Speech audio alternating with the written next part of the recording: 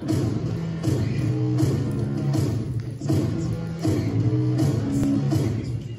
like that song.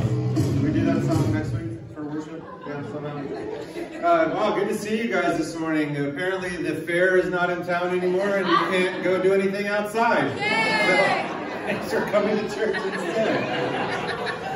Uh, turn in your Bibles to Colossians chapter 1. If you don't know where that is, there's a page number. Colossians chapter 1 is on page 954 in the Bible in the C pocket in front of you, or you can use the YouVersion Bible app. While you're getting there, I want to tell you about a couple things, really just one thing. Our parking lot campaign, the Say Yes campaign for the parking lot, is going swimmingly at this point. I sent a check for $40,000 to the parking lot company on Thursday, uh, which means that we have 23,000 left to go before we are done talking about the parking lot for all time. So if you're tired of it, Get your checkbook out. We can do that. But if you want to, uh, seriously, if you want to support the parking lot campaign, uh, we have these Say Yes cards at the table uh, at the back as you leave. And uh, what we were encouraging people to do is to buy a parking space for $1,500 and then uh, then we can go ahead and knock this thing out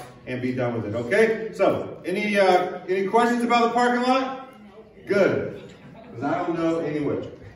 All right, so Colossians chapter 1, uh, verse starting in verse 15. Now, this is the second week in our series called Reclaim. And the idea behind this series is that, that Jesus has reclaimed us. Um, last week we mentioned this one verse that said, In him, being Jesus, we have redemption, we have the forgiveness of sin. So Jesus has cleared the way to reclaim us, to bring us back to him, to bring us into connection and into relationship with him. Now, even though Jesus has done everything possible to clear the way, to reclaim us, to bring us back into a relationship with him, um, you know, life sometimes gets in the way, right?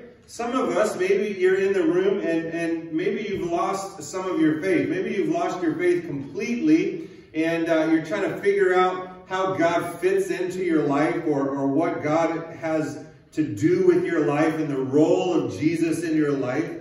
Um, maybe you're here today and you've totally lost your faith. Maybe you're here today and uh, maybe your faith has taken some hits.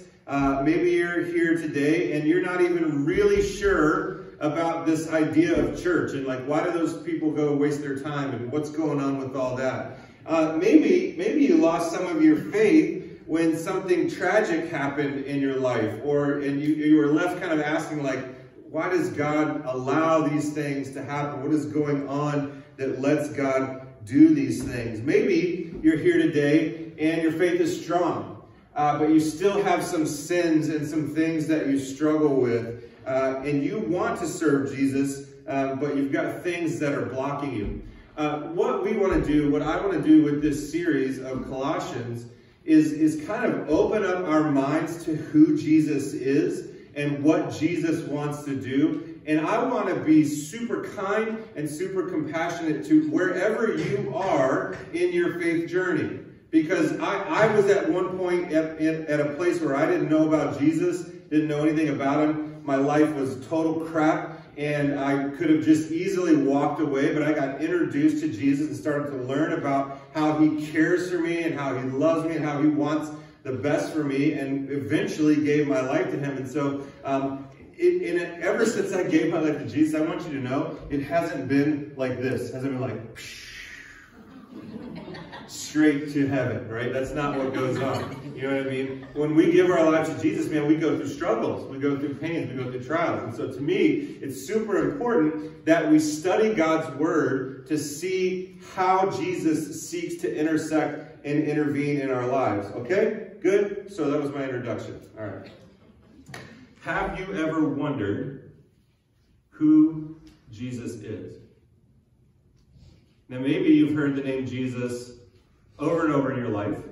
You have some ideas about Jesus. You, you have some, maybe it's a skewed uh, sitcom theology that you have about Jesus, and he's just a guy that they laugh about on TV, and when something goes wrong, they go, Jesus Christ, I can't believe this, blah, blah, blah. Maybe that is where you are. Today, in Colossians chapter 1, I think we get a pretty solid answer about who Jesus is. So we're going to read uh, Colossians chapter 1, verses 15 through 23. We're going to go verse by verse, and we're going to stop after each verse and discuss it, okay? So here we go. Colossians chapter 1, starting in verse 15. We're going to answer the question, who is Jesus? Verse 15. The Son, meaning Jesus, is the image of the invisible God, the firstborn over all creation. Jesus is the Son of God. God being the, uh, the umbrella cover for everything and all time. Jesus is his Son. He is also, from this passage, the image of the invisible God. He is God in the flesh.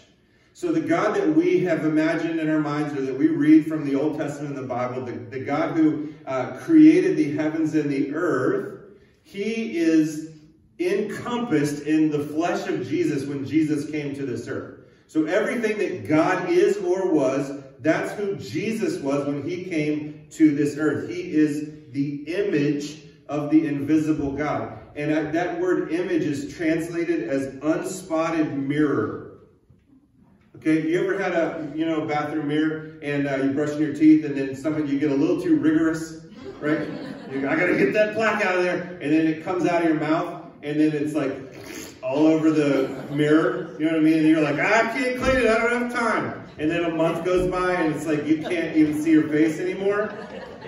No, just us? Okay, well, uh, that's what I mean. So imagine, imagine that filthy mirror and you get your Windex after it and you do it a couple times and you clean that up. That is Jesus.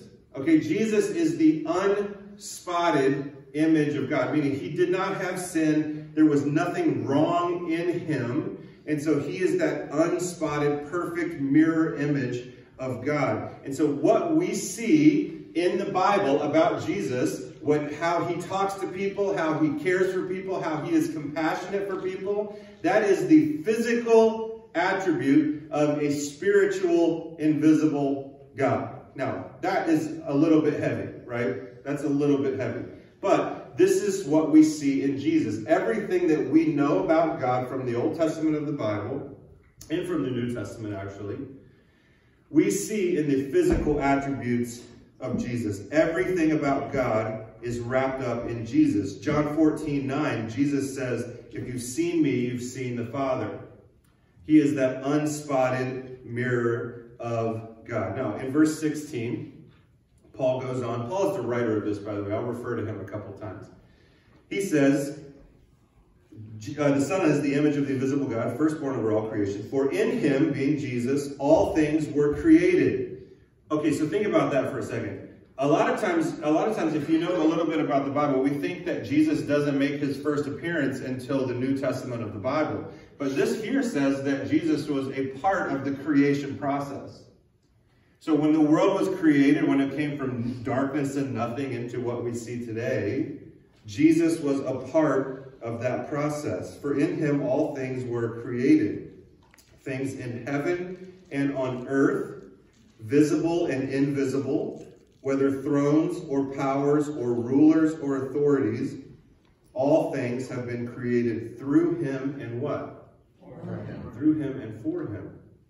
Now, we can get into microbiology and all that if you want. Everything that you can't see with the microscope, all of the stars in the universe, uh, the duck-billed platypus, the tree, a palm tree, a flamingo. Have you seen a flamingo? It looks like somebody got the IKEA instructions backwards on a flamingo. If you look, because you know their knees go the wrong way. What does the chair look like that a flamingo sits in?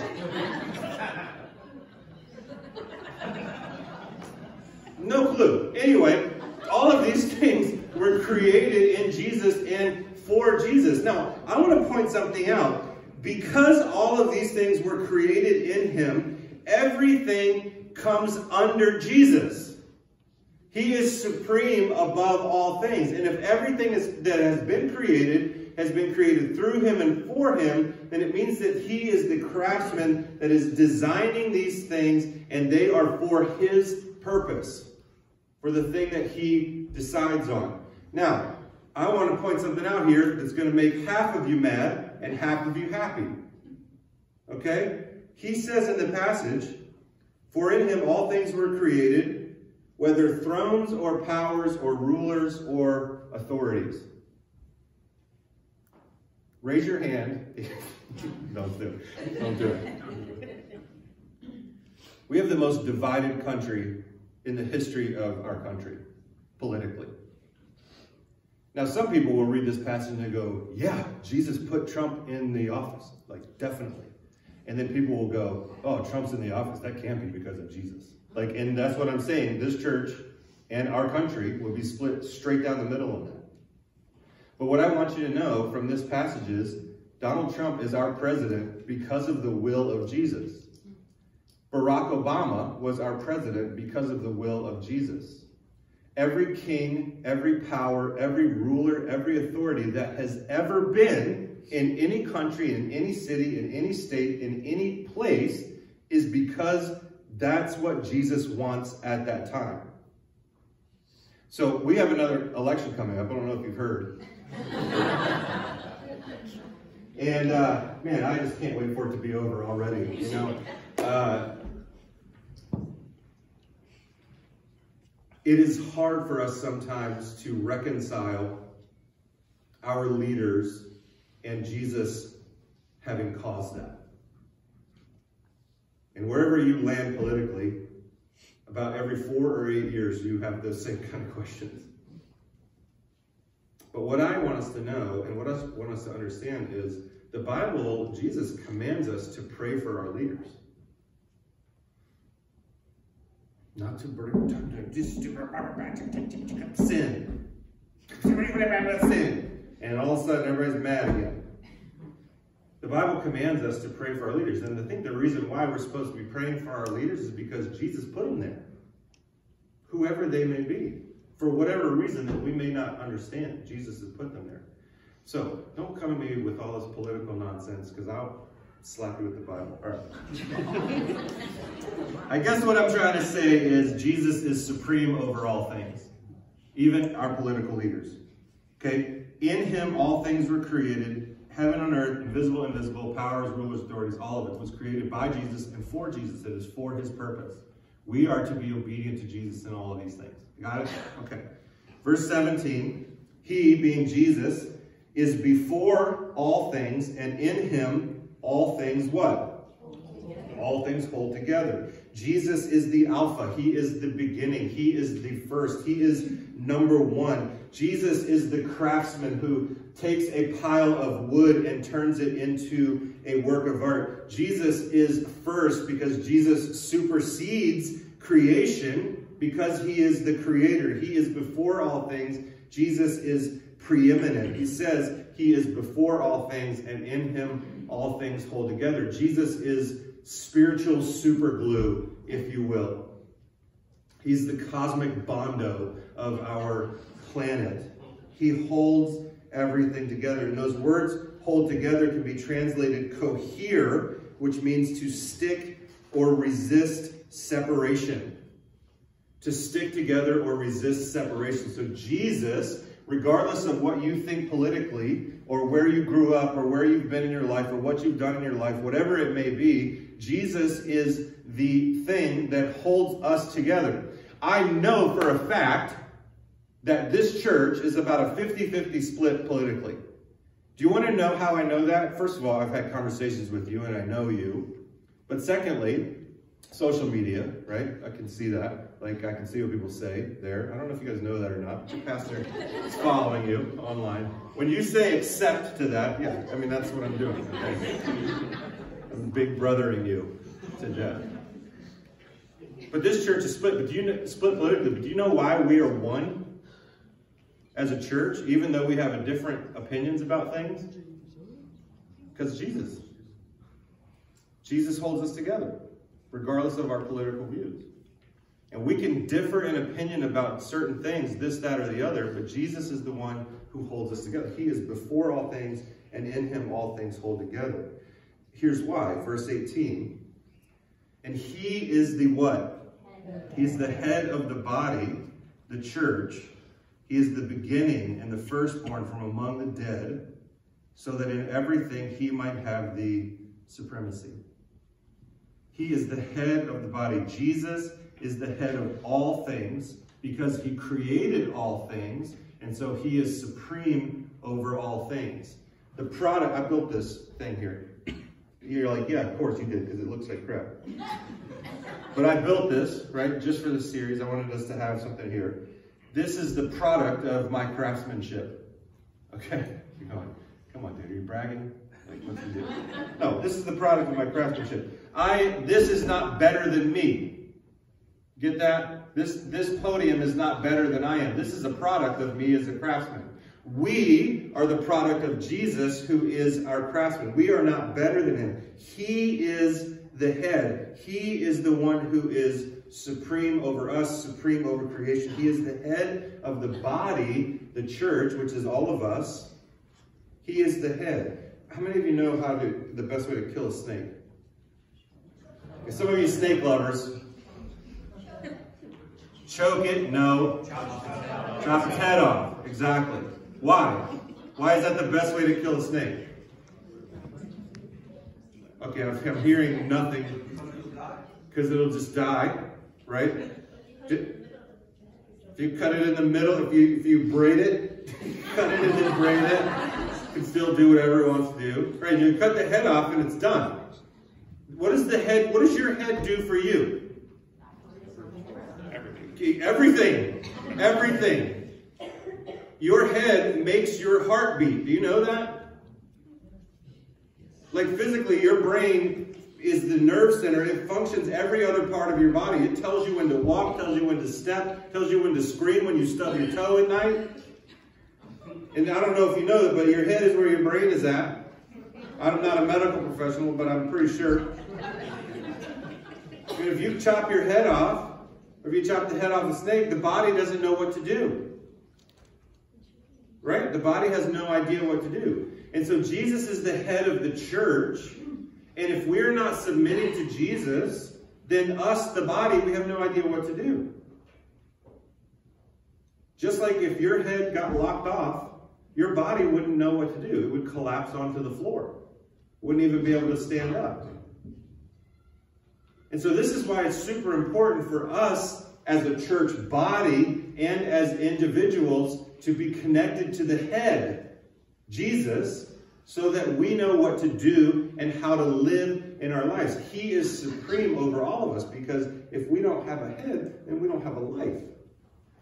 And so we need that. Jesus is the head supplying life and direction and motivation and purpose and operation of limbs.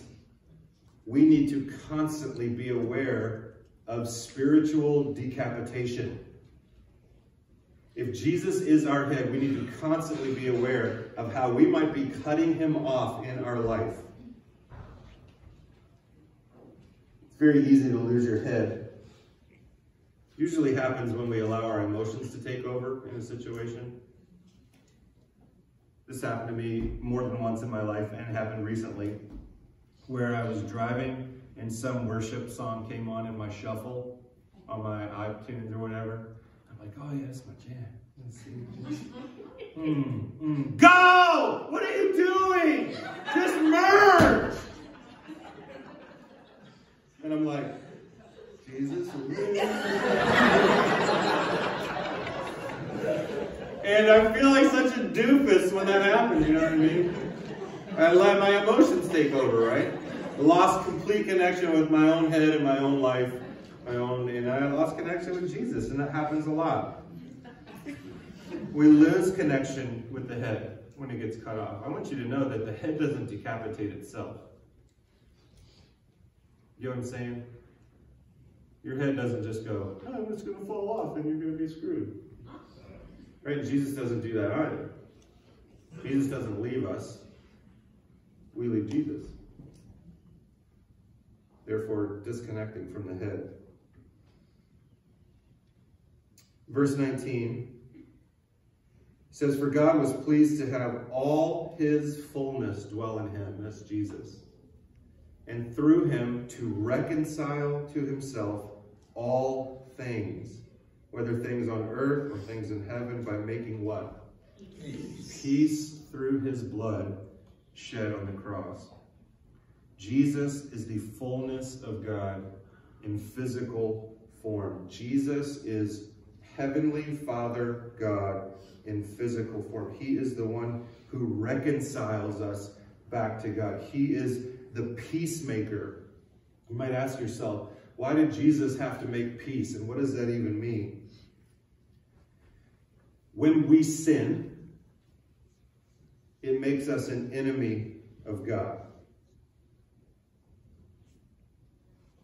When we, when we sin, we set ourselves up in opposition of God. And so because of our sin, because we have taken an attack position against God, Jesus had to come and had to make peace. We had to be forgiven of our sin. And that's exactly what Jesus does because he makes peace through his blood that was shed on the cross so that our sins can be washed away, so that our sins can be forgiven. We cannot, we cannot be in the presence of God. We cannot go into eternity with God while still having sin attached to us. And so that's what Jesus does through the cross, through the blood shed on the cross. He washes our sin. He takes our sin away. He brings us back into connection with the head. Now, despite the fact that Jesus is all of these things, creator, reconciler, maker, lover of people, head of the body, whatever, we sometimes still wonder if he's enough. God was pleased to have all his fullness dwell in him. Everything that our holy Heavenly Father God is, we see in Jesus.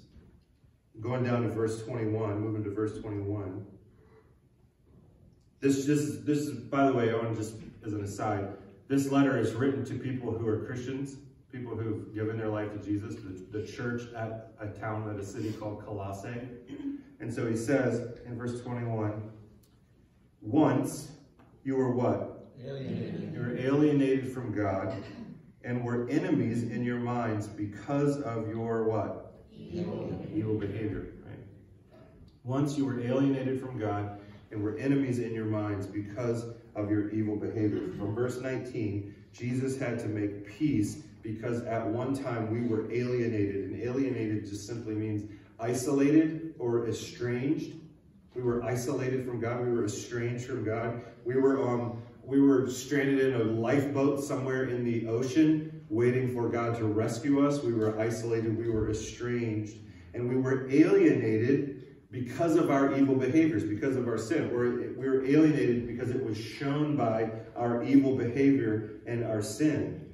Our evil behavior, our choices, our sin sets us up as enemies of God.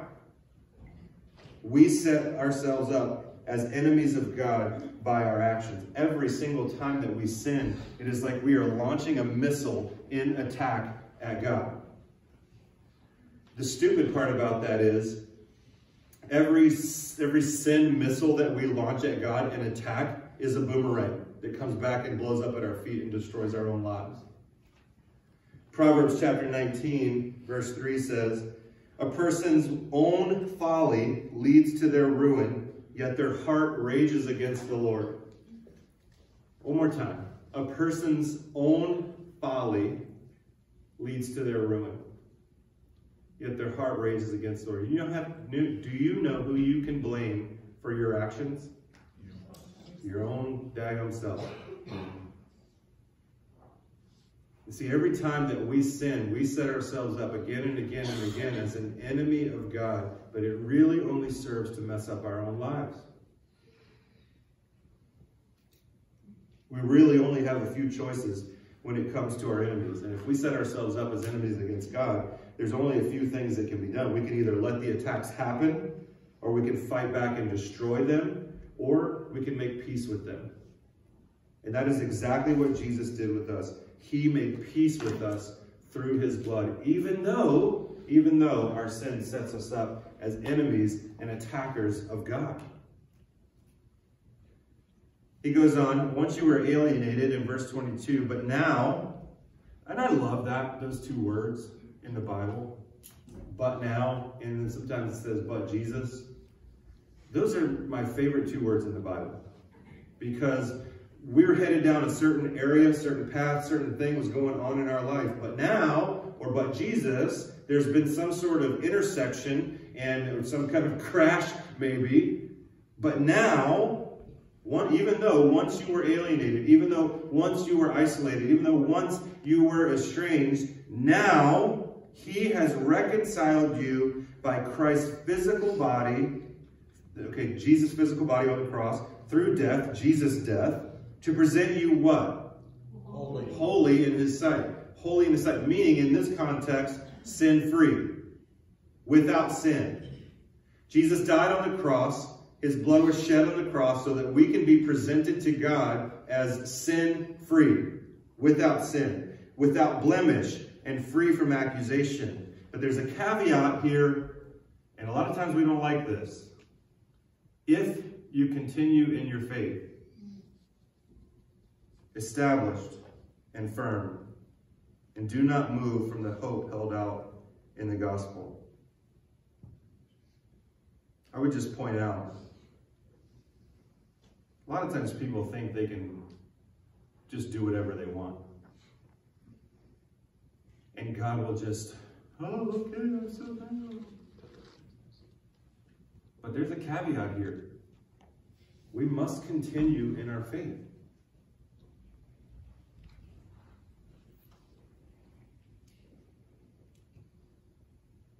I wonder who here is not continuing in their faith and is in danger of that.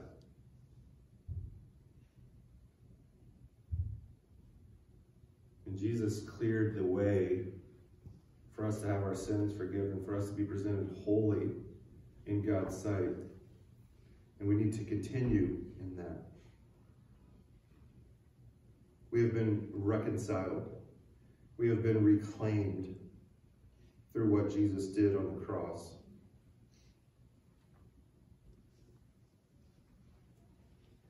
The whole reason that Jesus went to the cross is so that he could reclaim us from sin and death to hope and life. And so we need to be aware that that's what he wants from us, to continue in our faith, to keep going with it. I would say this though, to, continuing in your faith doesn't mean you're not going to trip.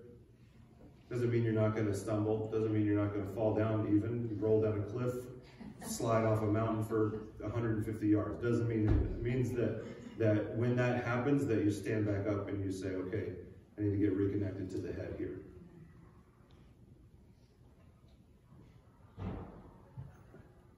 I think that sometimes we forget just how much God loves us. And so when we have those moments and those times of tripping and falling and rolling down a mountain and banging our head on a rock and whatever else is going on, we go like, oh, I can't come back. I can't go back. Done, I can't do it. I've done so many things that are just embarrassing or wrong or whatever. Well, guess what? You are not alone. You are not alone. Jesus wants to reclaim us. He calls us his children. He wants to reclaim us. And he gives us the opportunity to be reclaimed through his blood. That happens when we say yes to baptism. and we give our lives to Jesus in baptism. It's a metaphor, right? We go under the water, we're buried, we're washed, we're raised to walk in a new life. And this is how Jesus' blood contacts us. In all of that, we must remain connected to the head, being Jesus. Now, two takeaways that I have for you this week. Really quick. And not preacher really quick, but like actually really quick. First one is this Jesus is worthy. Jesus is absolutely worthy because he is supreme, because he is the head, because of who he is and what he has done, he is worthy. Of what, Wayne? Okay? Of what? Jesus is worthy of your life. You can give your life to Jesus. He is worthy of that. Jesus is worthy of giving your marriage to him, submitting your marriage to him. Maybe you got problems, man. I don't know what we're going to do. Or you're parenting, your kids are rotten.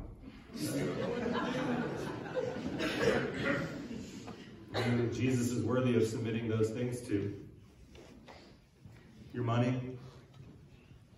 Oh, I don't know. That preacher's got on fancy Walmart jeans.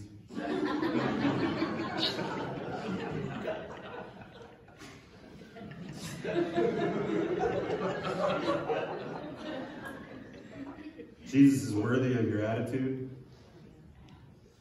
your sacrifice. Jesus is worthy of your gratitude, your praise, your speech, your love. Jesus is worthy of your day to day. The reason why he is supreme over all things. He is everything. He is the Alpha, the Omega. He's the beginning and the end. He is everything. He is the head, and we need to be connected to our head. Jesus is worthy.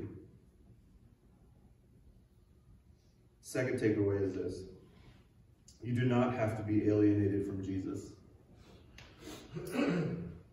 now, I, I kind of started off today, you know, I don't know where everybody is spiritually. I don't know where you're at on your walk, and I, I hope that we're the kind of church still where people um, who don't know Jesus are comfortable coming in here to go, oh, and, and I'm okay with that. Um, in fact, in our life group this last week, we had somebody say, yeah, I don't know about any of this. And I thought, man, you're in the great, you're in the right place. Like, this is where I want you to be. But I want you to hear me say this. Wherever you are in your life, whether uh, you're just figuring this out, whether you're coming back, whether you don't know what you're doing, whether you just feel like your wheels are spinning constantly, you do not have to be alienated from Jesus. You do not have to be alienated from Jesus. Maybe you've walked away from him. I want you to hear that you can come back anytime. And you know what? To, to walk away from Jesus and then to come back it, you don't have to throw a parade. You know what I mean? It doesn't have to be a gigantic, big, huge thing. You don't even have to post about it on social media. if you've walked away from Jesus and you want to come back to him, it is as simple as, Jesus, I'm sorry. I don't want to live like this. I screwed up. I want to give myself back to you. Or you can say it however you say it. It's that simple. It's that easy for you to come back and give yourself back to Jesus. So you do not have to be alienated from him, even though the alienation is your fault. you don't have to do it. You don't have to be there, okay? I also want you to know that you can come to Jesus for the first time. If you've never done that, Jesus has done everything possible to reclaim you and to bring you back into his, into his presence. And so if you have questions about that, about giving your life to Jesus, I always stand up here after service. I'd love to talk to you. Um, I'm not going to get into all of that right now, but I would love to have those conversations. If you're ready to give yourself to Jesus for the first time, um, there's, I mean, Beacon Skiff will be there afterwards. I mean, you go pick, you go pick apples later. All right, this is the most important thing for you to think about and consider. I want us to hear Jesus has done everything possible to reclaim us and to keep us connected to Him and we just simply need to accept that. Um, we participate in a time of communion here every week, and I've talked a lot about the blood of Jesus and the forgiveness of sins and all that stuff being shed uh, on the cross so that we can have that forgiveness. This time that we celebrate communion is representative of all that. The little cracker, the little cup of juice, our time in prayer there uh, helps us to come reconnect with Jesus. If you want to come back to Jesus, I tell you what, man, this, got, there's a perfect opportunity coming, like right now, for you to take the cracker and the juice and to remember what Jesus did for you on the cross and say, God, I want to come back to you. And then let Him welcome you home with open arms. You guys can be dismissed.